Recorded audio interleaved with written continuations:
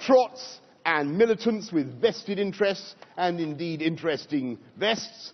They are the people, they are the people who idolize, who idolize they are the people who idolize Hugo Chavez and toast the revolution in taxpayer funded vintage Burgundy. This is the moronic MPs who nominated Jeremy Corbyn to have a debate. It includes John need, Cruddas, need though. their heads Yeah. felt. They need their heads Well- felt. They should be ashamed of themselves. They Well, hang on, felt. hang on. You can say that. This but then what you might who say, this is London actually. mayor. morons. They're morons, right?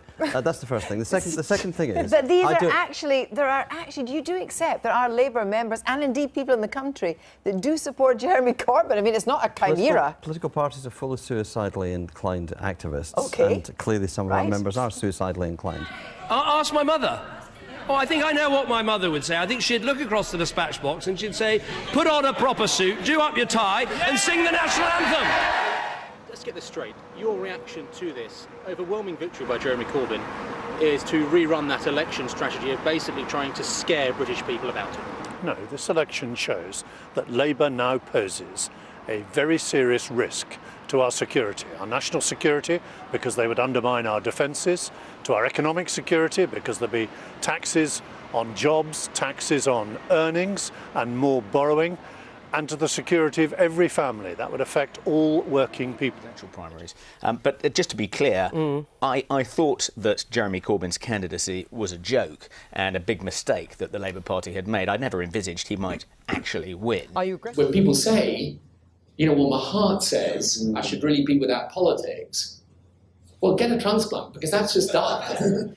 Well, you know, I, I- I think you, you, I might raise some eyebrows when I say it, but I, but I really think that Jeremy Corbyn is Britain's Donald Trump. Thousands of words have been written about the new Labour leader. But you only really need to know one thing. He thinks the death of Osama bin Laden was a tragedy. No. A tragedy is nearly 3,000 people murdered one morning in New York.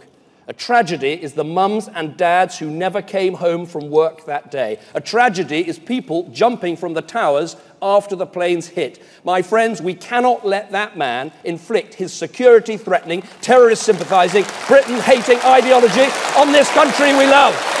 Well, I think uh, everyone should be put on trial. I also profoundly disagree with the death penalty under any circumstances for anybody. That's my own view. On this, there was no attempt whatsoever that I can see to, to arrest him, to put him on trial, to go through that, that process. This was an assassination attempt. And is yet another tragedy upon a tragedy upon a tragedy. The World Trade Center was a tragedy, the attack on Afghanistan was a tragedy, the war in Iraq was a tragedy. Tens of thousands of people have died. Torture has come back onto the world stage, been canonized virtually into law by Guantanamo and Bagram. Can't we learn some lessons from this? This will just make the world more dangerous and worse and worse and worse. The solution Well- has got to be law, not war.